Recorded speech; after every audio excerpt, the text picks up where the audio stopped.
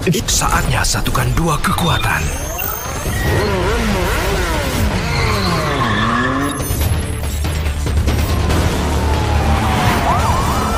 Dengan kolaborasi, I send you his position. Okay, I'm on it. atur strategi. Dengan teknologi, tentukan langkah tepat.